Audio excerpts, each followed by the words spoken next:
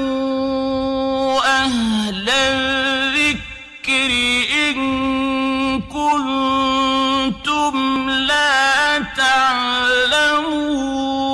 تعلمون সালাম রহমতুল্লাহ বরকাতহ আলহামদুলিল্লাহ হাদা ওসলাত আসসালাম আলা মাল্লা নবী বাদা আহ, সম্মানিত ভাই জিজ্ঞেস করছিলেন যে তাবলিক আমরা কিভাবে করতে পারি তাবলিক আমরা কিভাবে করতে পারি আহ, সম্মানিত ভাই তাবলিক অর্থ হলো প্রচার, প্রসার করা।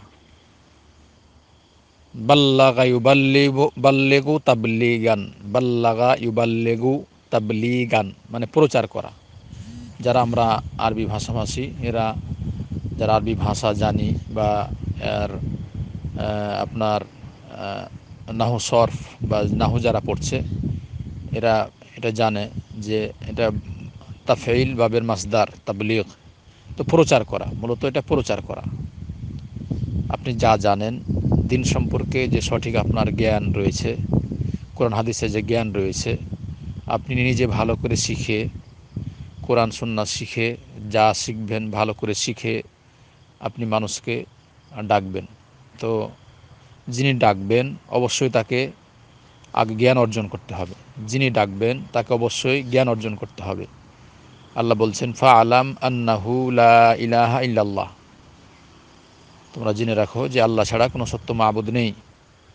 ইমাম বুখারি রহমাল্লাহ একটা বাব অধ্যায় নিয়ে এসেছেন, যেখানে তিনি বলছেন যে, কথা এবং আমলের পূর্বে, কথা এবং আমলের পূর্বে এলেম অর্জন করা দরকার। কথা এবং আমলের পূর্বে এলেম অর্জন করা দরকার। কথা এবং আমলের পূর্বে এলেম অর্জন করা দরকার। কি করে?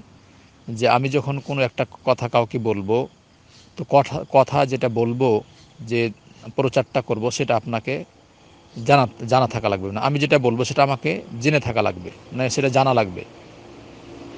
আর আমল যে করব, আমলের পূর্বেও যে আমলটা করব, অবশ্যই সে আমল সম্পর্কে আপনাকে জানতে হবে।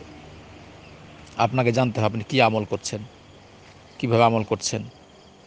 তাই প্রচার প্রচার অবশ্যই করতে হবে, দিনী প্রচার। দিনী প্রচার এগুলা নবী রাসুলদের দায়িত্ব ছিল। এরপর নবী রাসুলদের মৃত্যুর পর আলেমোলামা যারা রয়েছেন, যারা আলেমোলামা রয়েছেন, এরা এর দায় দায়িত্ব পালন করবে এবং কোরআন সন্না সঠিক জিনিস তারা প্রচার করবে। কোরআন সন্না এবং সঠিক জিনিস তারা প্রচার করবে। আল্লাহ বলছেন মাইয়তে আর রসুলা ফাকাদ আত আল্লাহ। যে ব্যক্তি রসুল সাল্লাহ সাল্লাম আনুগত্য করল সেজন্য আল্লাহরই আনুগত্য করল। সেজন্যই আল্লাহরই আনুগত্য করল। তো আনুগত্য আপনি যখন প্রচার করবেন, বিষয়টা আপনাকে জানতে হবে। আল্লাহ রসুল সাল্লাহ সাল্লাম কীভাবে দাওয়াতি কাজ করেছেন, সে বিষয়গুলো জানতে হবে। দাওয়াতি কাজের প্রথমেই আপনার নিজের পরিবার থেকে শুরু করবেন। আল্লাহ বলছেন, ইয়া আইয়ুহাল্লা দিন আমানু কু আনফুসাকুম হালিকুম নারা। হেমান্দারগণ তোমরা নিজেকে বাঁচাও, তোমার আহাল পরিবারকে বাঁচাও। ওই অগ্নি হতে যার ইন্ধন হবে মানুষ পাথর। তাহলে আপনার পরিবারকে আপনি বাঁচার চেষ্টা করবেন, নিজে বাঁচবেন, পরিবারকে বাঁচার চেষ্টা করবেন, নিজের সালাদ ঠিকভাবে আদায় করবেন। পরিবার, ছেলে, মেয়ে, আপনার স্ত্রী, পরিবার যারা আছে, এরাও যাতে ঠিকভাবে সালাত আদায় করে। আপনার মেয়ে বড় হয়ে গেলে যাতে পর্দা করে, আপনার স্ত্রী পর্দা করে, বাড়ির ভিতরে পর্দা করার আপনি চেষ্টা করবেন, পরিবারকে ঠিক রাখার চেষ্টা করবেন, অন্যায় উপকর্ম থেকে নিজেকে রক্ষা করবেন। যেগুলা, এগুলো আর কি আপনি নিজে যেগুলা আপনার নিজের পরিবারকে আগে আগে ঠিক করেন, নিজের পরিবার ঠিক করেন। তারপরে এলাকাবাসী, আপনি যদি এলাকার মুরব্বী হন বা আপনি মাতাব্বর হন বা আপনি পরিচালক হন, এলাকাতে দেখেন যে কে সালাদ পড়ছে কি পড়ে না, তাদের আপনি দাওয়াতি কাজ করেন, তাদের কাছে যান তাদেরকে বলতে পারলে বলেন, আলহামদুলিল্লাহ, সালাতের কথা এবং আরও যেগুলা শরীয়তের কথা, তাদের সেরে বেদাতি কাজ থেকে দূরে থাকার জন্য বলছে, বলেন, আল্লাহ বলছেন, কুন্তুম খয়রা উম্মাতিন উখরিজাত লিন্নাসি তা'মুরু নাবিল মারুফি ওয়া তানহাউনা আনিল মুনকার, যে আল্লাহ সুবহানাহু তাআলা মানুষের ভিতর থেকে এক জাতিকে বের করেছেন এবং তারা কি করবে? যে তারা সৎ কাজের আদেশ করবে, অসৎ কাজ থেকে মানুষকে নিষেধ করবে। সৎ কাজের আদেশ করবে, অসৎ কাজ থেকে মানুষকে নিষেধ করবে। তাহলে দাওয়াতের প্রচার প্রধান বিষয় হলো যে সৎ কাজের আদেশ করা, এর সাথে যেগুলা অসৎ কাজ তার থেকে নিষেধ করা। শুধু আপনি, আমি শুধু সৎ কাজ করতে বলব আর অসৎ কাজ যেগুলো নিষেধ করব না, এটা কিন্তু দাওয়াতের মাধ্যম নয়।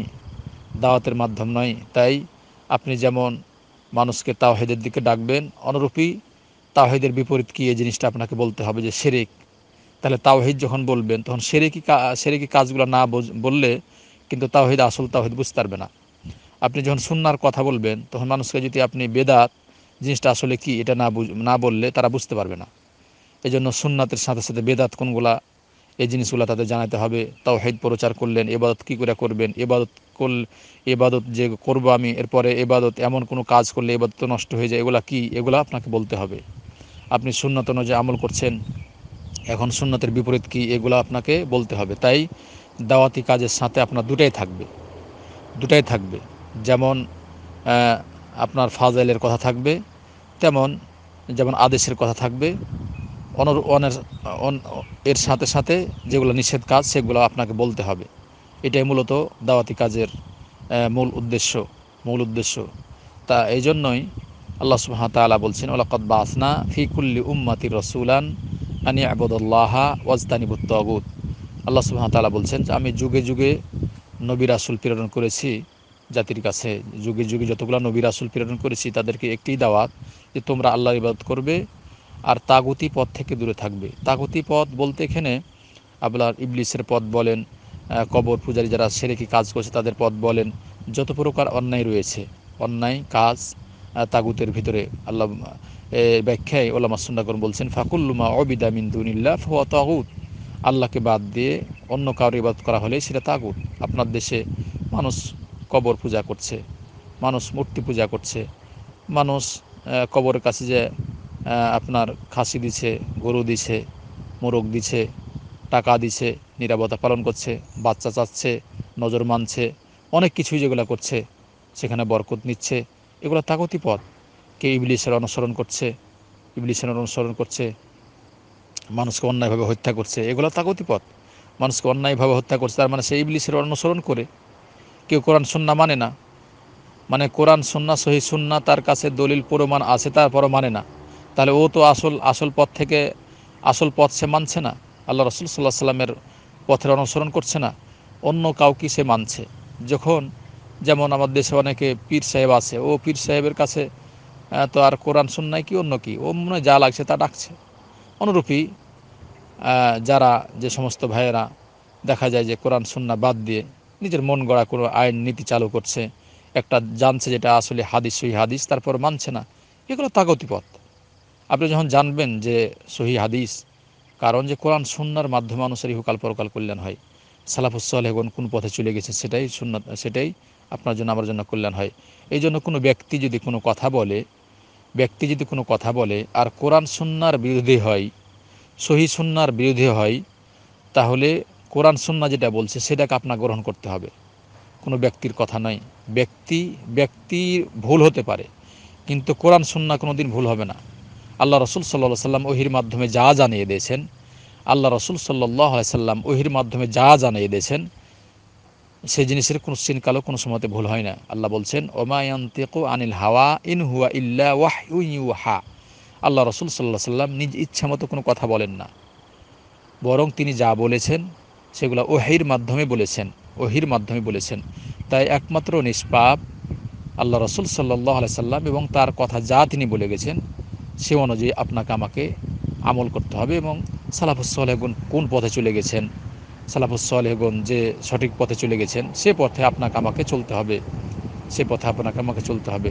তাই দাওয়াতি কাজ আপনার মূলত হ্যাঁ আর না দুটো একসাথে। শুধু হাঁ করবেন আর না করবেন না, এটা না। কারণ সব থেকে দুনিয়াতে ওলামা সুন্না যারা সবাই জানে, আলেম ওলামা, এরা সবাই জানে সব থেকে দুনিয়াতে বড় বড় পাপ হলো বড় সেরেক। বড় পাপ হলো এবং মারাত্মক বড় সেরেক।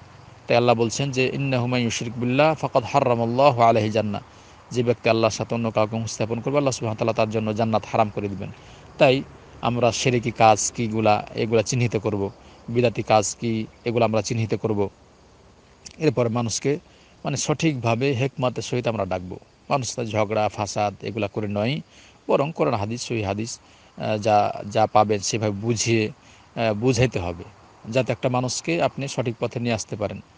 বুঝাইতে হবে, যদি ভাই না বুঝে, একদিন, দুই দিন, তিন দিন যায়, বলতে থাকেন। যদি না বুঝে, না বুঝলো কিন্তু তার জন্য দোয়া করেন, আল্লাহ হেদায়ত দান করুন। আল্লাহ তাকে হেদায়ত দান করুন। আপনার মাধ্যমে যদি একজন কল্যাণের পথে আসে, হতে পারে এটা আপনার জন্য না নাজাতের পথ হয়ে যেতে পারে। এই জন্য ঝগড়া ফাসাদ করে নাই। কেউ হয়তো দেখছেন যে সে কাজ করছে বা বেদাতি কাজ করছে, তাই তার সাথে ঝগড়া করল। জি না, ঝগড়া করার আপনার অধিকার নেই। আপনি দলিল প্রমাণ সহকারে তাকে বুঝাবেন। এবং তার জন্য দোয়া করবেন আলহামদুলিল্লাহ, যদি আল্লাহ তাকে হেদায়ত দেয়, আলহামদুলিল্লাহ, না যদি দেয়, তো কিছু করার নাই। আল্লাহ রসুল সাল্লাহ সাল্লামকে যিনি কষ্ট করে মানুষ করেছিলেন, তার মানে তার কাছে তিনি লালন পালন করেছিলেন, তার চাচা, তার মৃত্যুর সময়তে আল্লাহ রসুল সাল্লাহ সাল্লাম বলছিলেন, ইমাম মুসলিম রহমান হাদিসটি নিয়েছেন, ইয়া আম্মি উল্লাহ ইলাহিল্লাহ হে আমার চাচা, তুমি শুধু লা ইলাহিল্লাহটা পড়ো। তিনি যখন অসুস্থ ছিলেন মানে মৃত্যুর আগ মুহূর্তে এ কথা বারবার বলছেন আল্লাহ রসুল সাল্লাহ সাল্লাম। ইয়া আম্মি কুল্লা ইলাহিল্লাহ হে আমার প্রিয় চাচা, তুমি লা ইলাহিল্লাহ পড়ো। পড়লে আল্লাহর কাছে আমি তোমার জন্য সুপারিশ করতে পারব। তো তো তার তো আর ভাগ্যে জুটিনি তার তো আর ভাগ্যে জুটিনি তাই তিনি বারবার কি সুন্দর করে বারবার বলছিলেন যে আমি কুল্লা ইলাহিল্লাহ তুমি লা ইলাল্লাহ বলো, তাহলে আল্লাহর কাছে আমি তোমার জন্য সুপারিশ করব। অনুরূপভাবে ইব্রাহিম আলাহ সাল্লাম তার বাবাকে কি সুন্দর করে, ইয়া আবাতি এ আবাতি ইয়া আবাতি। কতবার আবাতে বলছে যে তুমি যেগুলা হাতে তৈরি করে মূর্তির পূজা করছ, এটা হলো শয়তানের ইবাদত। এটা শয়তানের পূজা। কারণ এটা করলে আল্লাহর নাফরমানি করা হয়।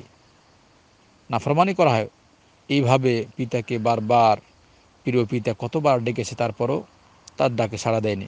তাহলে এগুলা থেকে আপনাকে দাওয়াতি কাজ করলে তাদের কাউকে আপনি যেটা জানেন সেটা সঠিকভাবে বুঝিয়ে দিতে হবে। বুঝলে আলহামদুলিল্লাহ, না বুঝলে ঝগড়া, ফাসাদ, মারামারি বা আর কিছু জি এগুলা হিংসা, বিদ্বেষ, হিংসা রাখা, এগুলা না। এগুলা না। এগুলা এগুলা করা করে না, বরং তাদের সেভাবে ডাকতে হবে। যেমন মুসা আলাহিসাল্লাহ সাল্লাম এবং হারু আলাহিসাল্লাহ সাল্লামকে আল্লাহ যখন বলছিলেন যে, উভয় ফেরাউন কাছে যেতে, তখন তিনি বলছেন ফাকুল আল্লাহ কৌল আল্লাইনা তোমরা যে যাবে দুজন, তাকে নরম ভাষায় কথা বলো। হতে পারে, এর দ্বারাতে সে কল্যাণের পথে আসতে পারে।